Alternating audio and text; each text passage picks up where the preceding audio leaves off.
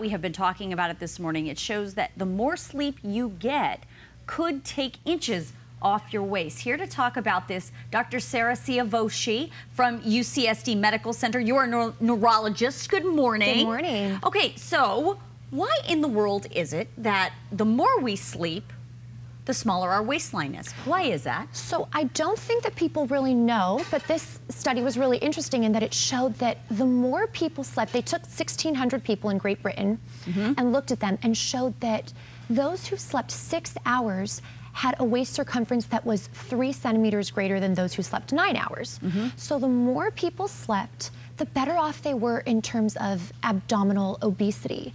Okay, um, and that, that has to do with some, there's some hormones, right? So there's some hormones. The theories as to why this happens, we're not exactly sure, but the study had some postulations. So mm -hmm. one was that perhaps our metabolism is affected. So that the more you're sleeping, mm -hmm. the higher metabolism you have, you're able to burn fat better. Okay. Um, and that also, when we have abdominal fat, it's a visceral kind of fat storage that surrounds our organs, namely our pancreas, which is an insulin producer, which is one of those important hormones. Uh -huh. And insulin is, when it's off regulated, can cause fat storage.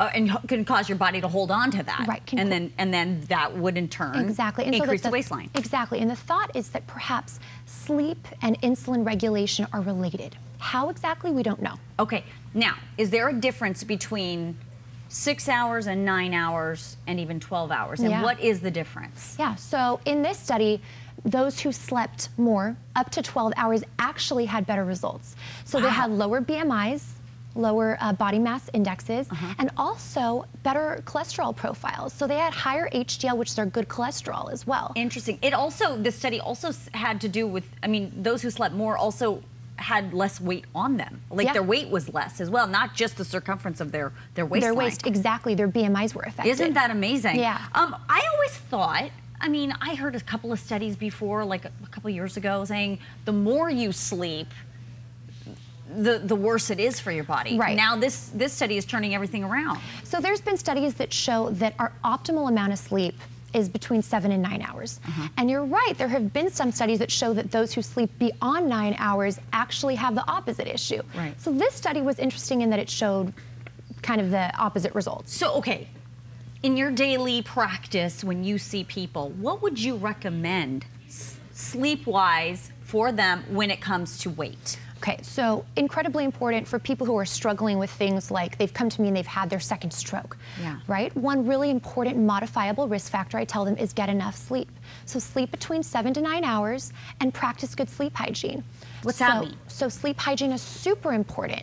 Get enough uh, daylight, as much daylight exposure as you can um, during the daytime hours so that our melatonin, a really important hormone, is regulated. And by the time lights go out at nighttime, your body knows lights out. It's time to go to bed. Okay. Um, avoid caffeine six hours before going to sleep.